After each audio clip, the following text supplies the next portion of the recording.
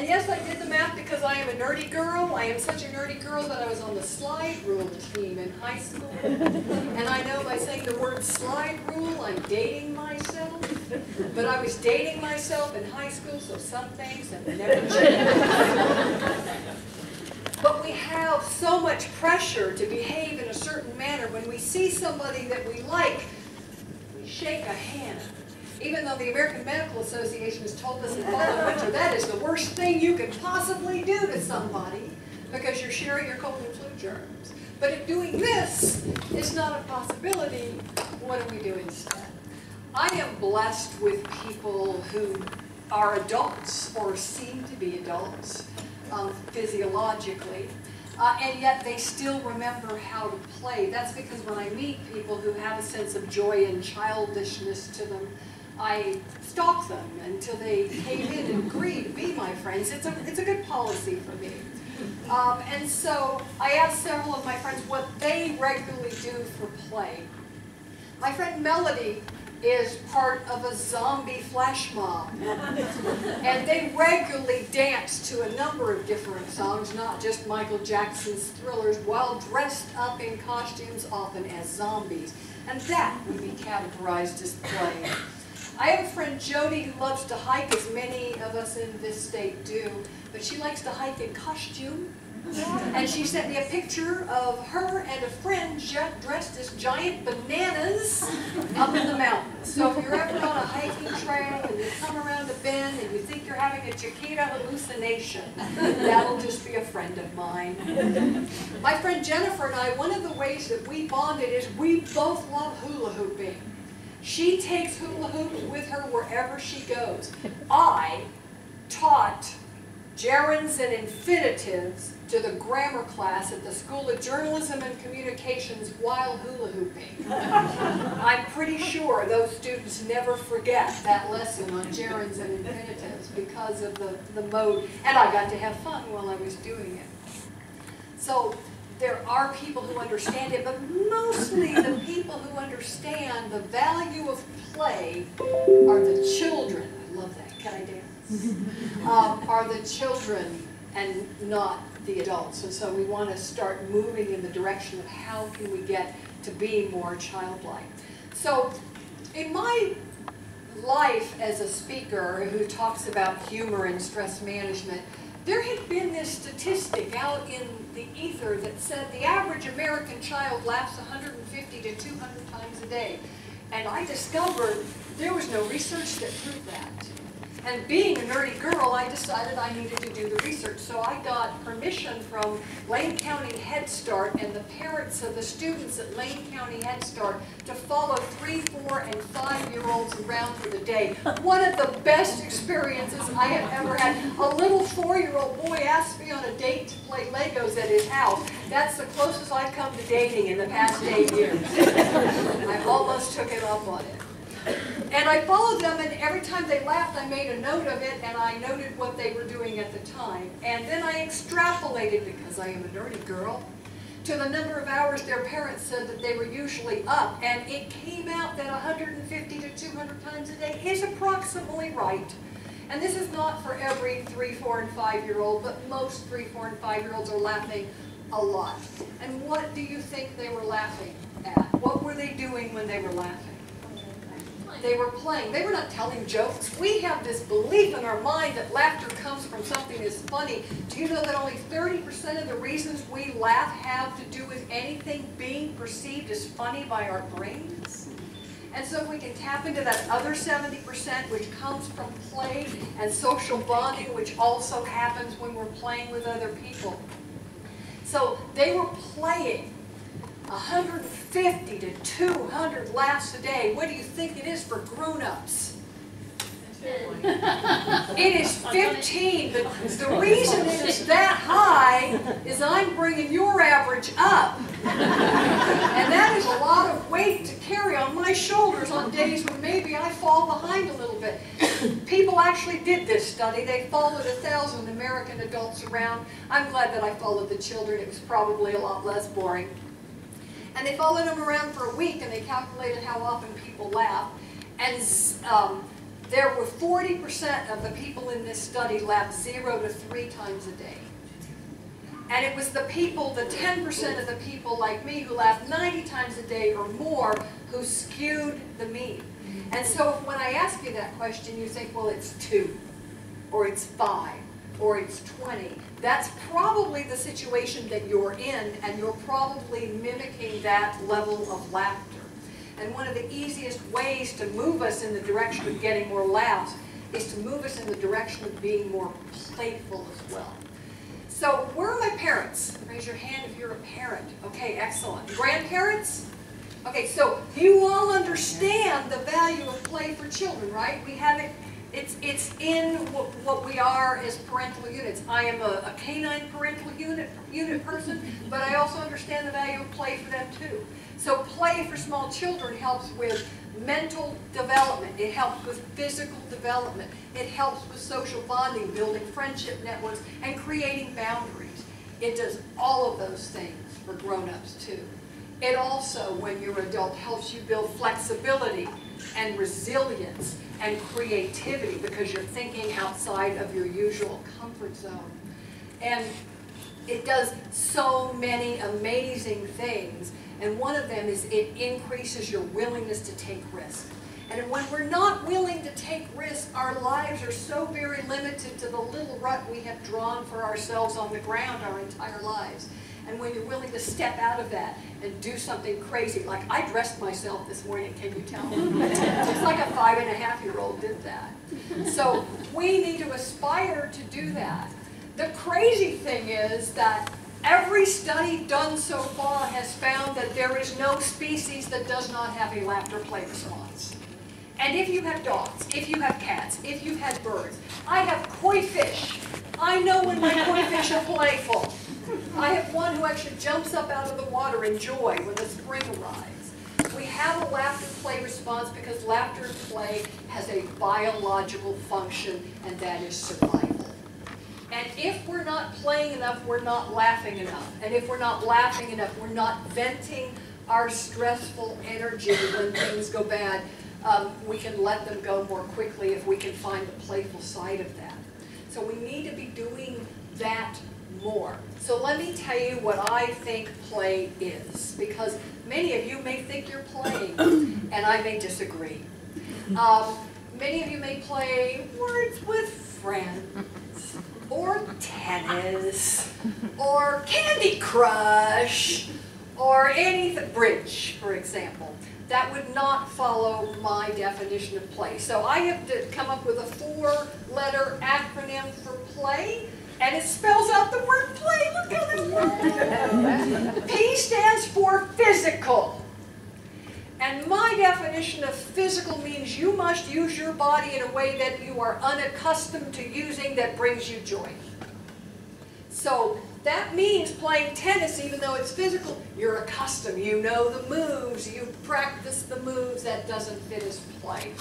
Um, there's an old Calvin and Hobbes cartoon, and I will summarize it. And Calvin comes up to his dad, and he says, Dad, why don't grown-ups play? And Dad says, well, we do. We just call it working out, and we have to keep notes on how well we're doing towards achieving our goals. And Calvin says, so you just take play and you take all the fun out of it. and basically, that's where, to me, the difference is between play and work. And think about how many things in your life you put the word work on people always tell me, well, your workshop is, I go, no, my play shop is, because I don't want to do any more work, I want to do some play. So we want to be physical in a way that challenges our bodies. So I teach improv class, and in improv class, one minute you can be an octopus learning to knit. and the next minute you can be a superhero named Kitten Woman, whose superpowers are shredding the draperies and going That is the kind of play that we're talking about. We want to get physical. Do you know that one of the best ways to get your muscle memory to remember what it was like to be a five-year-old is this? That's all it took. You were down at the eye level of a five-year-old. Where do you get when you greet a small child or a dog? And in what attitude are you when you greet a small child or a dog? It's like, oh, a good boy. Are you a good boy? Imagine going into a retailer Who's a good sales clerk? Are you a good sales clerk? It would change everything. So physical, we want to be physical in a way that is uncomfortable. Now, when I say physical, I mean from head to toe. Your eyebrows are part, your face. How many, how often have you done something like this lately? Right? We don't do that because it's stupid. We don't do that because it's silly. We don't do that because our ego says, don't do that. People will think you're an oddball. You know what? You're oddballs. We're all oddballs. We should celebrate that instead of hiding that. So remember, it's head and shoulders, knees and toes, knees and toes. That's your body, the whole thing. L stands for laughter inducing. I've been here the whole day. I can tell which of you know how to laugh. Not all of you do because does not count. It will not get you any of the benefits that you need to get from laughter and play. Neither will, well, that was amusing. Neither will LOL, which stands for lying online. Because you know and I know and studies have shown that when you're typing LOL, you are not laughing out loud. And for God's sakes, you are not rolling on the floor, so stop typing it. We roll on the floor in improv. If you don't have bruises on your hips, you are not rolling on the floor. So when I say laughing out loud, I mean, where's my microphone?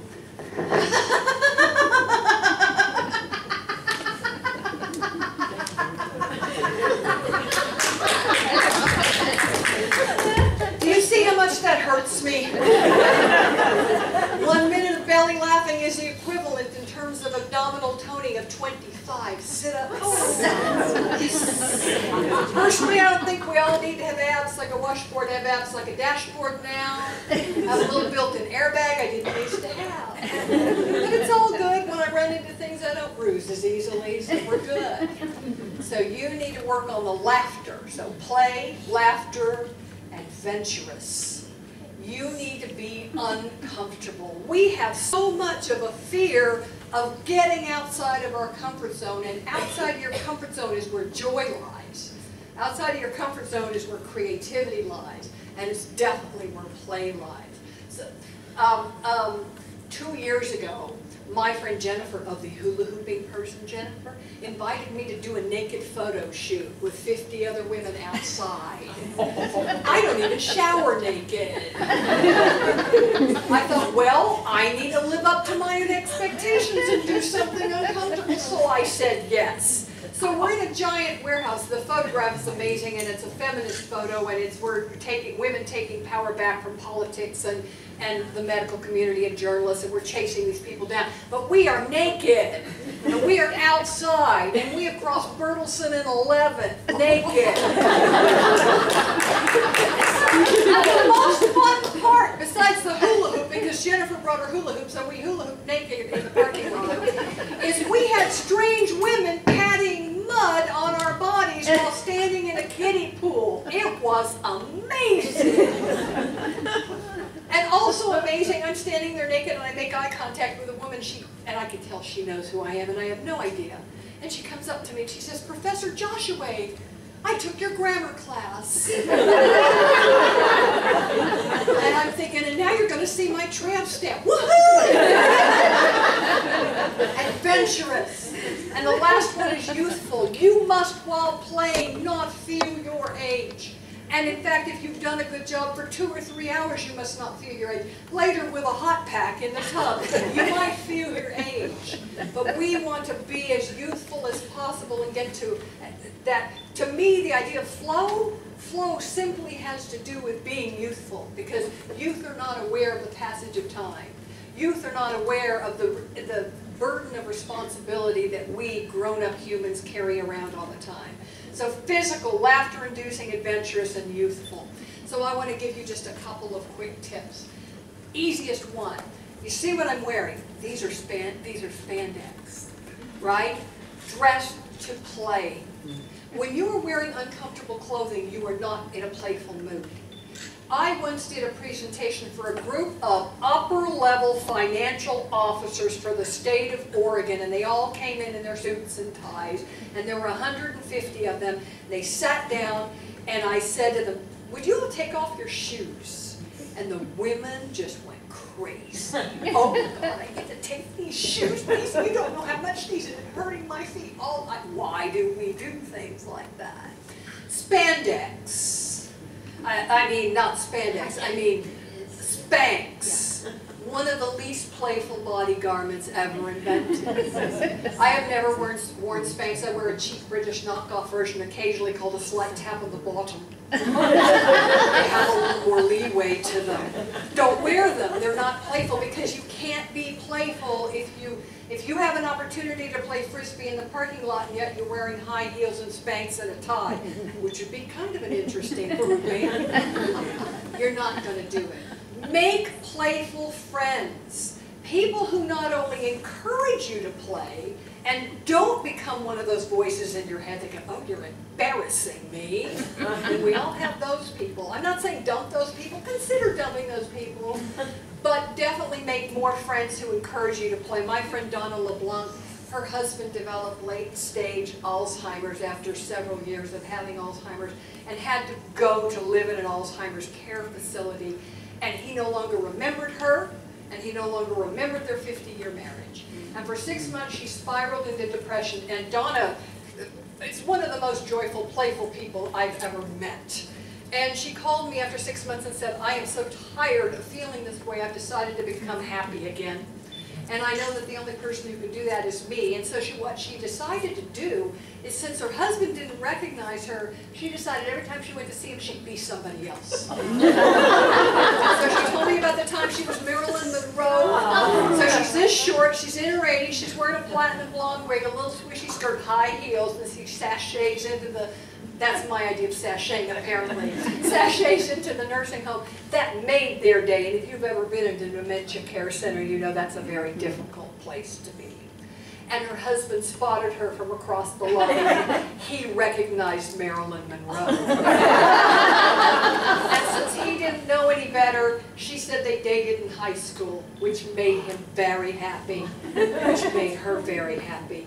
And the last tip that I want to give you is hiding here behind some water. Let me just... Is you need to challenge your ego on a regular basis. If you allow your ego to run your life, you will never play. You'll never get out of your comfort zone. And you won't really experience the level of joy that I believe human beings are meant to experience. And I will show you how easy it is to know you're meant to experience that joy. How many of you want this? right? but if I give it to you, somebody's going to give it to a child or a dog or a cat. Because we don't know how to play. Somebody says, yes, I know how to play, throw it to me. so challenge your ego can be difficult, especially if you've never done it before. Oh, I used to fly a lot.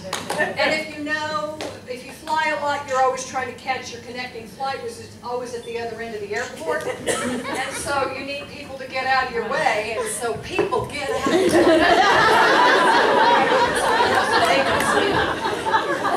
Plus, I'm a hot flashing woman making my own breeze, and I have a hickey after, so it's all But see, did your ego go, oh, no way. I could never do that, even among strangers. Do you think I might have a better experience in the airport than most people do? because I'm willing to play. I always recommend that everybody keep in their glove box an animal snout so that the next time you're stuck in traffic, you strap on a snout. I guarantee it'll change your entire perspective. Watch this.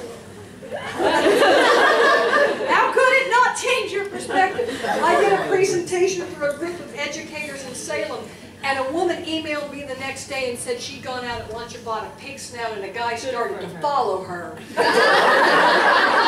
she said she pulled into a 7-Eleven parking lot, she rolled her window down just a little bit, and the man said, I'm really not dangerous. What's with a pig snout? And she was quick on her feet and said, I've been married for 27 years, and this is the way we keep the spark in our relationship.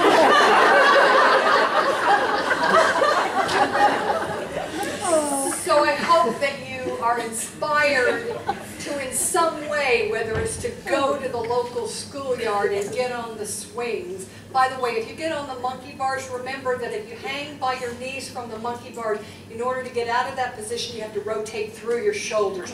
Don't ask me how I know this. I had a seven-year-old boy trying to explain to me how to get off the monkey bars the other day because I was stuck because my shoulders don't rotate the way that they used to. So stick to the swings of the slide. Enroll in an improv class. Make friends with five-year-olds and 80-year-olds because a lot more people in their 80s play than people in their 40s and 50s and 60s. I want to end with two quotes that I find really inspiring. Um, and the first is by one of my favorite authors and artists, Brian Andreas, and it's a reminder from children, and, and it goes like this. I wouldn't mind being a grown-up, she said, if I didn't have to get up every morning and be grumpy right away. Very sad, but when I was at, at Lane County Head Start and asking kids what their parents did for fun, three of them said sleep. And my last quote is by Tom Robbins, who changed my life in so many ways, and it is, it's never too late to have a happy childhood. So I wish that for you as well. Thank you.